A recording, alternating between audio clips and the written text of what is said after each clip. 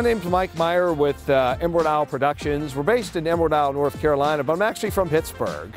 We began just doing laser light glow in the dark parties for schools and towns and things like that. It's a very interactive experience. And what we were trying to do was just come up with things that were fun when we were kids and just create some epic memories by bringing people together again in a way that is fun. The, the idea of this drive-in laser show was a, a, COVID pivot last year because obviously we couldn't do our interactive laser light in the dark party. So we, with the you know, return of drive-in movies, we came up with this idea of a drive-in laser show and Allegheny County was really receptive to the idea. So we started last year, we had eight lasers that were all up, you know, up on the bleachers there and up front.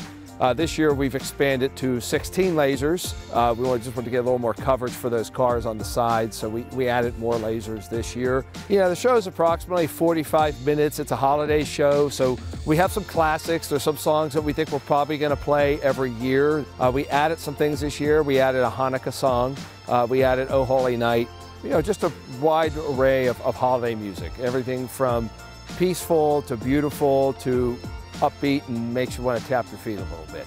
You know, we came up with the idea of just adding Flashy, the laser elf this year. Basically, she pops up occasionally. We have these lights to light her up, uh, and she's also the MC this year for the majority of the show. Emerald Owl Productions and Allegheny County Parks would really look forward to seeing you at the Holiday Laser Show this year. Uh, give it a shot. We'd love to see you.